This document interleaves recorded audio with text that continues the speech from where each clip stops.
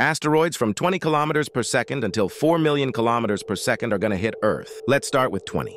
And there it goes. It seems it's going to hit Africa. You can never believe what damages last two asteroids are going to inflict to Earth.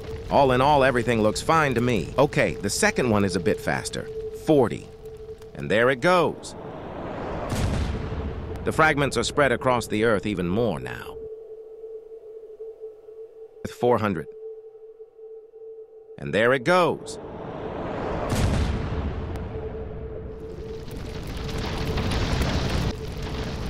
Hmm, similar to the 20 and 40, just some more dust.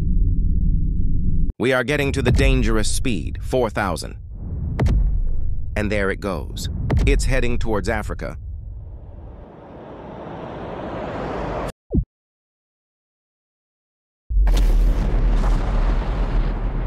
What a shockwave! Less fragments. Life likelihood remains unbothered. That is a big crater. Now it's time for the scary division. 400k kilometers per second. And there it goes. Whoa, ho, ho. Blue is not good. Have an eye on the atmosphere. Life likelihood dropped instantly very low. That is a huge crater. The question remains, will humankind survive? Let's speed up a bit and see the damages. Wait a second. Wow, the temperature is dropping very fast to normal and life likelihood is rising like crazy. Earth doesn't look like before, but hey, humankind survived again. Four million kilometers per second, and there it goes.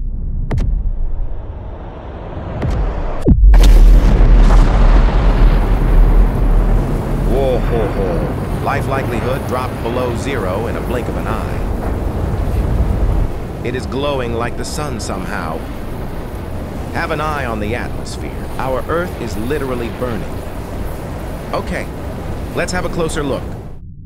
Our Earth looks like a fireball. All the water is pushed to the other side. Yeah, it seems hopeless. The question remains, will humankind survive? Let's speed up a bit and see the damages. Wait a second. The temps dropped back to normal and life likelihood is over 95%. We can see the lights on our new ring continent. Humans made it again.